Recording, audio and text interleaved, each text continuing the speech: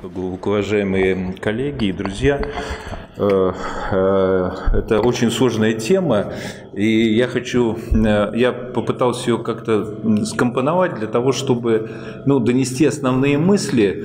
Я хочу сказать, что наши коллеги знают, чем мы занимаемся очень хорошо, но я хочу сказать, что с 2000 года фактически мы проводим неадъювантную химиотерапию, и не только неадъювантную, а именно переоперационную химиотерапию больным, как э, то, что сейчас оценивается погранично резектабельным, так и э, операбельным аденокарциномом э, головки поджелудочной железы, и мы сейчас как бы имеем этот опыт уже, и нам очень приятно, что мы сейчас, несмотря на то, что занимаемся проблемой давно, находимся все-таки в мировом тренде. И поэтому я хотел бы... Как она переключается? Оп. Значит, ну, смотрите, основная проблема заключается в том, что э, вот эти надежды на таргетную терапию, они оказались они оказались неоправданными. То есть, к сожалению, все мы ждали, что наконец-то начнется лечение таблетками или какими-то препаратами. Конечно, в будущем это, возможно, произойдет. Но вот этот вопрос все-таки локальные методы, в том числе хирургия, она будет жизнеспособна или нет, в общем-то, э, я тоже хотел э, это отметить в докладе. Но если э, значит, осталось то, что сейчас мы имеем в арсенале терапии, это, в общем-то, обычная химиотерапия, которая использовалась уже давно. И если взять вот эту фулферинокс, ничего там в этой композиции, ничего нового нет. Это, в принципе, схема использующаяся, просто их не применяли широко, а препараты с бородой, они достаточно старые. Ну, например, турацил там и так далее. Значит, вот схема абраксан гемцитабин – это тоже, в принципе, старая э, композиция, тем не менее, Абраксан, э, надо дисперсный глитоксел.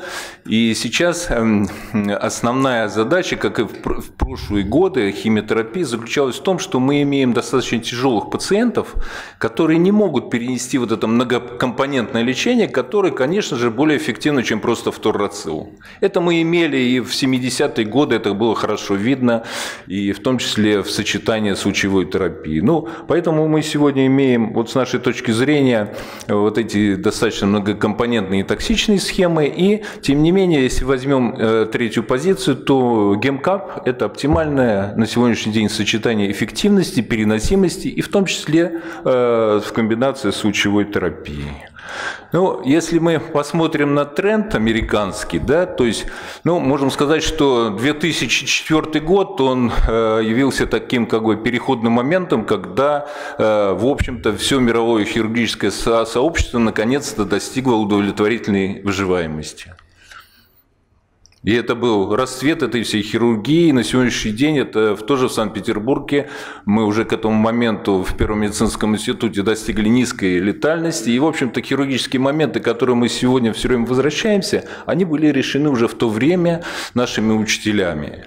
И э, сейчас это мы бесконечно совершенствуем, но имеем все равно летальность порядка там, 5-7%. Чем больше вы опыт делаете, более тяжелых больных, соответственно, берете, тем больше у вас осложнений. Но нужно сказать, что мировым трендом 2004 года, вот как наши американские коллеги здесь показали на графике, что э, начинает доминировать э, комбинированное лечение, причем просто хирургия и хирургия, они склоняются, это количественные показатели, то есть они фактически уходят со сцены, и вот мы видим здесь динамика пятилетней выживаемости, 92-2011 год, мы видим, что э, вот это э, некое улучшение выживаемости пятилетней, оно в основном касалось групп локализованных форм рака, то есть это прежде всего это операбельный рак и то, что мы называем Э, местно распространенный. Что касается э, метастатического рака, фактически здесь нет никакого продвижения. Это понятно, потому что нет продвижения в плане нет продвижения в плане э, новых препаратов. Ну, если мы обратимся к рекомендации, на сегодняшний день достигнут консенсус в плане того, что Больным с операбельными формами необходимо проводить адювантную терапию. Сейчас в этом никто не сомневается. Но если говорить о теме доклада, не адювантная химиотерапия, то она, вот видите, отмечена красным, это э, европейские рекомендации, это неодевантная э, химиотерапия или плюс-минус лучевая терапия. Значит, целью является достижение R0 резекции. Ну вот если американские, э, э, это США и Канада, э, рекомендации, то мы здесь, обратите внимание, что тут здесь тоже при резектабельной опухоли не рекомендуется проводить неадювантная терапия, да, и при определенных оговорках она проводится у больных так называемым плохим прогнозом. Здесь взяты клинические показатели, такие как э, значительная э, потеря массы тела, выраженный болевой синдром, наличие повышения онкомаркера 19.9. Это клинические показания, и тем не менее, значит, э, с нашей точки зрения, это тоже очень важные показатели, которые позволяют сориентироваться, кому же проводить все-таки адювантное лечение. Ну, э, если вернуться к нашим рекомендациям 2018 года, ну, они вот звучат буквально. Единого протокола предоперационной терапии не существует. Наибольшая вероятность достижения резектабельности применения режима форферинокс или комбинации наполиктоксала и гемцитабина. В случае эффекта достижения резектабельности рекомендуется хирургическое лечение в максимально короткие сроки. В случае сохранения нерезектабельного состояния после 16 дней, недели индукционной химиотерапии возможно назначение лучевой терапии. Ну, если вернуться э, к цели неодевантного лечения, да, то нужно сказать, что вот вы видите, что фактически показатель R0 резекции, от него зависит э, медиана выживаемости почти в два раза улучшается, если вы добиваетесь края резекции. Это очень важный показатель. Оп, извините. Ну, э, вот всем известная вот это на сегодняшний день классификация резектабельный, пограничный резектабельный и место распространенный неоперабельный рак. Или, э, значит, э, ну, здесь возникает вопрос, вот вы обратите внимание на заголовок, это оценка R статуса с точки зрения хирурга и онколога. То есть вот здесь нужно сказать, что вот эта классификация в виде трех этих градаций, это классификация хирургов это возможность, техническая возможность удалить опухоль, ну, скажем, не оставив видимых кусочков этой опухоли на сосудах.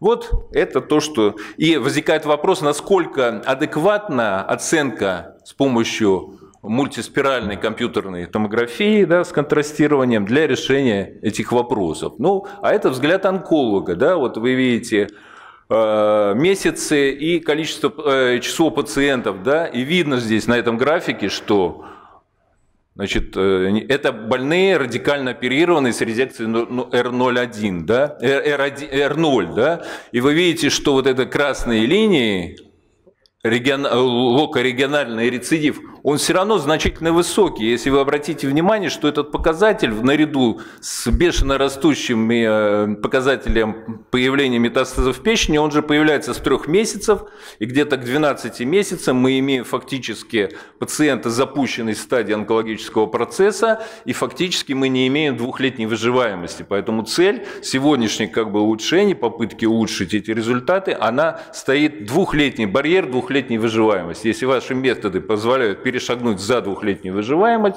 значит, это прекрасный результат, к чему нужно стремиться.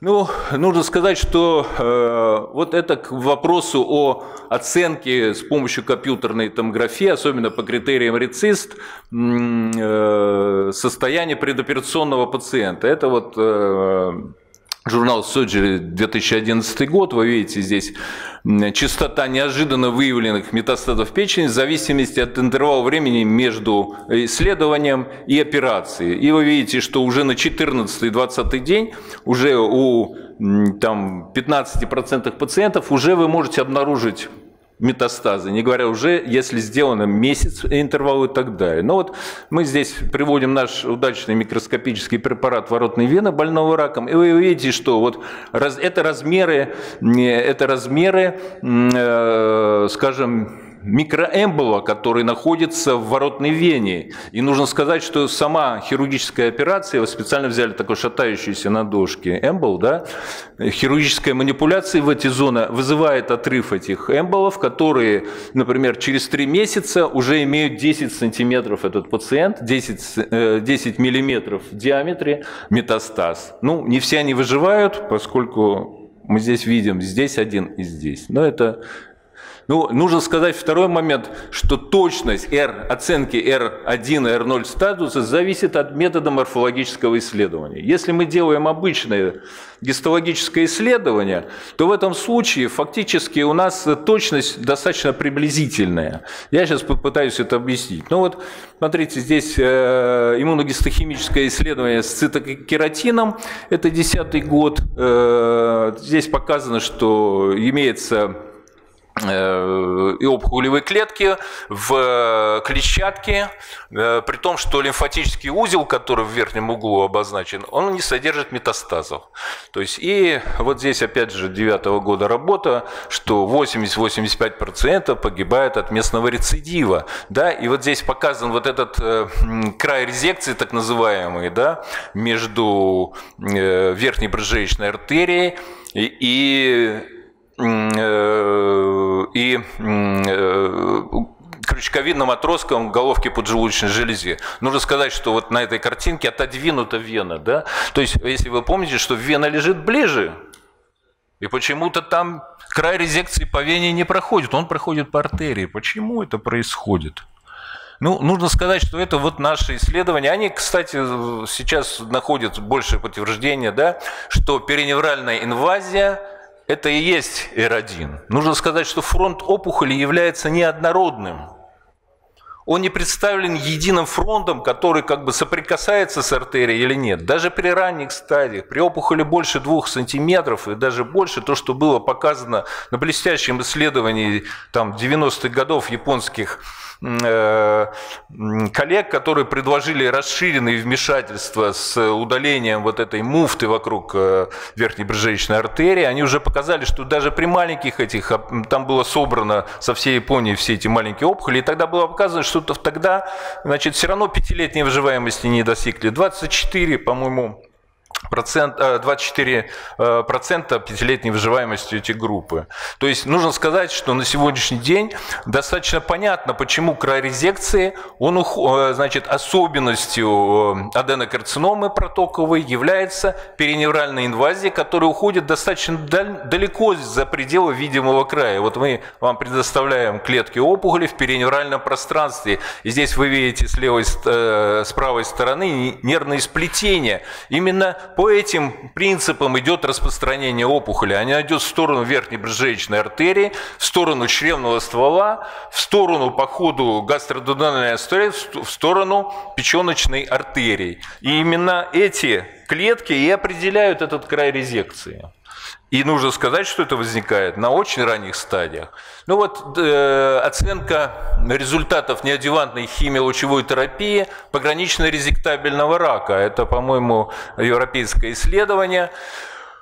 Э, значит, вы видите, вот было взято 122 пациента, да, им произведена гемкап и э, традиционная лучевая терапия, и мы видим, что в 98 случаях, да, ой, э, там, 82 э, случаев, э, ну, то есть в большинстве пациентов, э, значит, практически при э, исследовании с помощью компьютерной томографии никаких изменений не произошло. Но скажем, вот внизу написано, что у 21 больного появились метастазы в печени за это время. Да? И при этом, скажем, э, даунстенджинг произошел у одного пациента, да? ну, прогрессирование у двух пациентов. То есть как оценить результаты? Конечно, она эффективно оказалась, терапия. Да? То есть только, значит, и при этом э, часть пациентов была отсеяна у тех, у которых был агрессивный тип опухоли, например. Да? И я постарался сделать более короткое сообщение. Значит, и поэтому вот какие преимущества дает неадъювантная химиотерапия рака? Первое преимущество и наиболее глобальное – это гарантия раннего начала лечения, его проведения в наиболее благоприятных условиях. Сегодня все приходят к мысли, к тому, что хирургическое вмешательство, как и при раке молочной железы, как при других онкологиях, нон-тач технологии или лапароскопические технологии, возможно, они вносят какой-то вклад в плане областики, но операция э, с давлением на этот орган является одним из факторов диссеминации опухоли. Это уже известно, и такие исследования проводились по изучению циркулирующих клетках, и в этом особенно нет сомнений. Да? Ну, э, второе – это гарантия начала и проведения наиболее благоприятных условиях. Это относится к состоянию, прежде всего, пациента. Да? Мы знаем, что, например, химиотерапия гемцитабином может улучшить статус пациента. Так? Э, второй момент, что проведение лучевых, лучевой терапии на хорошо оксигенируемых тканях, оно гораздо лучше оказывает противовой опухолевый эффект. Это классика лучевой терапии. Тут вообще нечего обсуждать. Да? Ну, вторым пунктом э, позволяет оптимизировать комбинированное лечение у пациентов с наиболее неблагоприятным течением – то есть выделив тех, у кого диссеминированный характер заболевания и онкологический процесс не может быть контролирован химиолучевой терапией. В этом случае ваша хирургия не поможет. Например, это горе хирурга, когда больной запрогрессировал там, на фоне химиотерапии. Но это счастье для пациента – Потому что он избежал этой операции, после которой бы, может быть, у него эти метастазы появились уже на третий месяц после операции. И, в общем-то, лить эти крокодиловые слезы уже сейчас просто неприлично. Значит, э, третий пункт. А, э, вот эта неадювантная химия, лучевая терапия, обеспечивает некоторые преимущества и при хирургическом этапе лечения.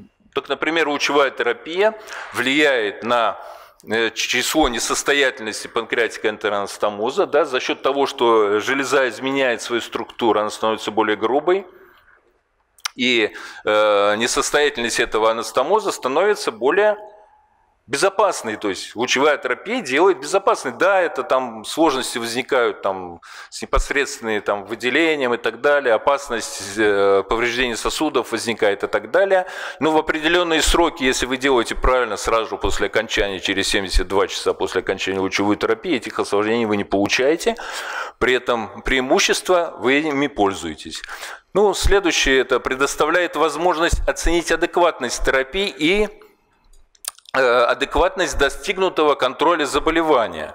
Да, что очень важно, наращивать нам какие-то химиотерапии или, наоборот, ее просто больного наблюдать. Но это прежде всего определение 19.9, это вот даунстенджинг, эрнизекция, лечебный патоморфоз и некоторые другие. Ну и третье преимущество, ой, последнее преимущество, она может быть дополнена адъювантной терапией. Ну, к недостаткам Э, адювантной химиотерапии э, или адювантного лечения, так грамотнее сказать, что она требует, конечно, сепарации пациентов. Да?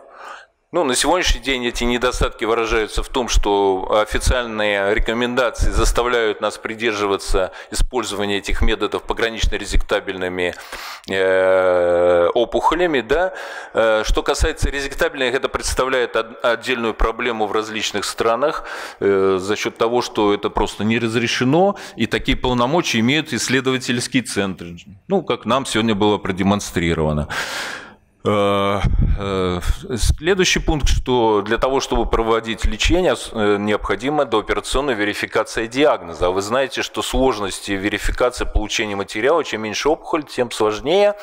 И я должен сказать, что даже вот это наша эндоузи, это всего лишь тонкоигольная биопсия, не надо забывать. И там высокий, высокий процент как ложноположительных, так и ложноотрицательных ошибок, а также не надо говорить, что вот при цитологическом исследовании мы четко видим. Конечно, там есть создание селл-блоков и так далее, то, что улучшает иммуногистохимическое исследование, но малое количество материала, оно все-таки определяет точность этой диагностики. Все-таки вот. Ну, мы пользуемся трепан-биопсией в основном. То есть у больных, э, у кого опухоль больше 3 сантиметров, через кожный трепан-биопсия. Это в Питере сегодня одна из опций, которая используется в том числе и в амбулаторном режиме. Ну и э, следующий недостаток, который может рассматриваться с точки зрения хирурга и онколога по-разному, это вероятность появления отдаленных метастазов во время неадювантной терапии. Ну, должен сказать, что это, как правило, метастазы в печень. Так? Ну вот, э, тоже это одно из последних обобщений, да, вы видите, что э, даже при строгом отборе да, химиолучевую терапию получили только 60% пациентов, да, 20% выбыло за счет появления метастазов, и где-то примерно еще 20%, э, в том числе за, большая часть за счет э, ухудшения состояния пациентов, которые, скажем, ну, не смогли не то, что там сделать операцию, но и не смогли там завершить даже лечение, да. Ой, извините, это, пардон.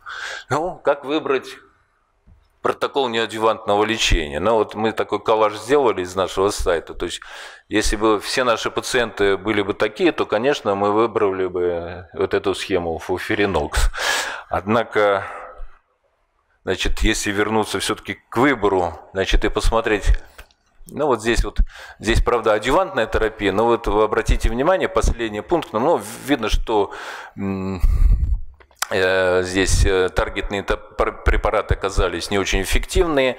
Гемцитабин, гемкап 28 месяцев, медиана, фулферинок 54. Но если вы обратите внимание, что и просто в этой же группе, да, Prodigy, который сравнивал фулферинокс и гемцитабин, у них были такие критерии включения, что у них просто гемцитабин системный тоже дал 35 месяцев средней выживаемости. То есть это сепарация пациентов, не надо себя обольщать, что вот этот фулферинокс, он как бы очень хорошая схема, она имеет узкий спектр применения, имеет свои недостатки. Ну и вот вы, мы видим, что протокол неодевантного лечения, он в основном касается химио-лучевой терапии, куда достаточно популярный гемцитабин, э, фторацил, ну и фолферинокс, конечно, тоже изучается в этом направлении. Нужно сказать, что необходимы дальнейшие исследования в поиске наиболее эффективных схем химиотерапии. Ну, вот тут тоже, что касается метаанализа 2019 года, что влияние неадъювантной терапии, вы видите, что фактически на, э, на R0 резекцию и общей выдаваемости положительный тренд. Оп. Перестала. Ага.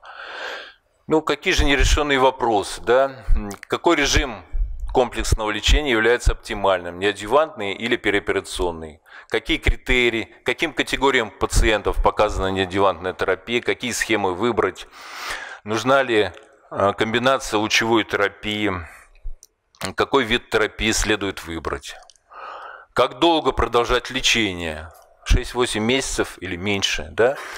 Прогрессирование заболевания это является плюс или минус? Какие критерии эффективности используют? Частоту объективных ответов по рецист, биологический ответ, метаболический ответ по позитронно-эмиссионной томографии, циркулирующие клетки, частота резекций, степень лечебного патоморфоза и другие варианты. Ну, это наше исследование. Вот, э, в принципе, в 2000, э, в 2000 году мы прекратили, практически никому из пациентов не делаем чисто хирургическое лечение. Ну, я могу сказать, что наш центр известен тем, что мы разрабатываем методы внутриартериальной, внутриартериальной химиотерапии. И нужно сказать, что на сегодняшний день эти методы тоже показали свою эффективность, как в группах, скажем, э, с хорошей переносимостью в виде комбинации как переоперационная терапия. Ну, вот вы видите, с 2008 года мы использовали гемцитабин оксалиплатин, с 2017 года гемцитабин абраксан, и с 2018 года мы используем Э, гемцитабин абраксан и комфортная, э, комфортная лучевая терапия. И я могу сказать, что сегодня нами достигнут э, патоморфоз. Фактически мы видим из пяти пациентов прошедших, у пяти есть, есть патоморфоз. То есть нужно сказать, что лучевая, химиолучевая терапия в режиме, в режиме внутриартериального введения, она показывает не только хорошую переносимость, но и так сказать, хороший противоопухолевый эффект в виде патоморфоза, что я уже сказал. И самое главное, что она сокращает сроки лечения таких пациентов. То есть мы уходим от этого вот переживаний Ну, наверное, потому что мы хирурги. Нам, конечно, увидеть, что больной запрогрессировал, а мы не сделали ему операцию, для нас сложно, и поэтому фактически э, такой пациент у нас достаточно быстро идет на операцию за счет того, что вот этот цикл э, мы получаем изменения раньше. И второй момент, то, что мы не ждем, скажем, даунстенджинг, поскольку это часть пациентов, это прежде всего пациенты э, с пограничной резектабельной и резектабельной опухоли. Ну, я не очень хотел бы сейчас долго развивать э, скажем, наши успехи, а хотел бы просто выслушать коллективное мнение по тем вопросам, которые мы с вами сегодня поставили. То есть, спасибо за внимание. Спасибо, спасибо большое. Э, наша программа исчерпана. Кто бы хотел задать вопрос? Пожалуйста. Пожалуйста, пожалуйста. Подождите, пожалуйста частности, которая связана с э, выделением пациентам, имеющим радиочувствительные да, характеристики. Я, я знаю вашу работу. И да, очень, вот. И скажите, пожалуйста. Очень жалеем, что вы от нас ушли в институт Петрова. Ну, дело не в этом. Я рядом.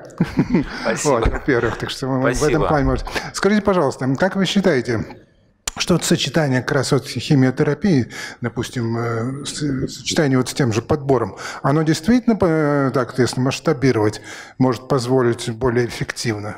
Потому что у нас там получились довольно хорошие, в общем-то. Ну, что касается, э, вот если расширить этот вопрос предиктивных факторов, да, то да, у нас есть Э, мы можем посмотреть э, Хент-1 на Гемзар, и есть предиктивные факторы на лучевую терапию, которая сейчас успешно развивается в нашем микрорайоне Песочного. Вот. И мы, конечно, рассчитываем на вашу поддержку. Но сейчас есть некоторые трудности в плане как бы вообще научных исследований в России. Вот. Сейчас подборе пациентов для... Шел разговор о тщательном подборе пациентов для такой комбинированной терапии. Есть да? методики, которые позволяют определить э, чувствительность к лучевой терапии. Можно До вычленить... начала лечения. До начала лечения вот. мы можем вот. вычленить пациентов, которые это, это очень... лучевая терапия будет более успешна. Это очень интересно. Я хотел бы спросить лучевых терапевтов. Есть такие методики? Она разработана мной лично. Секундочку. У нас марш есть. Что там в слон кейтеринге происходит? Что это за методики? Потому что они не в курсе. А... Ну и я тоже, например, не знаю. Да, приходите потому что это, это достаточно новые ну, технологии, ну, которые еще мне, объясним, не получили, не получили широкого распространения, как и то, что мы делаем. Да? То есть, поэтому... Я хотел напомнить цитату из одной песни. У нас есть такие приборы, но мы вас, вам про них не расскажем. Нет, а патент Мы нас... сейчас для того, чтобы узнать об этом собрались? Ну, есть, ну, пати... есть, есть научные патенты. Если вы хотите, сейчас вам лекцию на эту тему прочитают на сотрудники, которые перешли в ней Петрова. Вот. Но, как бы, я не знаю, сейчас это стоит не углубляться. Я думаю, что ограничиться просто тем, что это возможно.